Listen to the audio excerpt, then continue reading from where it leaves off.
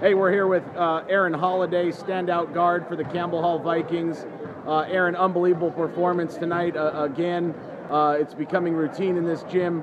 32 points, um, or uh, th- 30 points, Aaron. Uh, several awesome assists to your teammates. You put the team on your back. Aaron, just just you know, just tell the viewers and, and people that, that want to follow you, you know, how you're able to come out and do what you do night in and, and, and night out.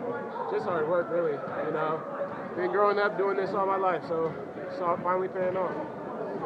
Aaron, it seemed like uh, you you really uh, you know kind of saved yourself in that first game. You guys got that lead um, earlier in the day, and you were able to sit in the fourth quarter. Uh, was that sort of the game plan to try and you know watch the minutes early so you could go go full throttle tonight? Uh, I guess.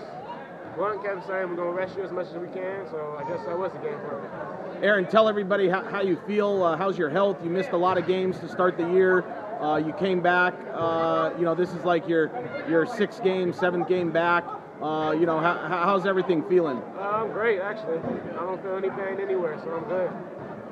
Aaron, what do you think about this team here? Um, you know, a lot of people kind of wrote you guys off after last year. Thought you guys lost a lot of key, uh, key parts. Some guys graduated, some guys transferred. Um, you know, obviously, obviously you were coming back, but uh, seems like you guys, uh, you guys really have a, a great team this year. We do. We always work hard every practice, and you know we're gonna give it our all every game. So that's all we can ask for, really.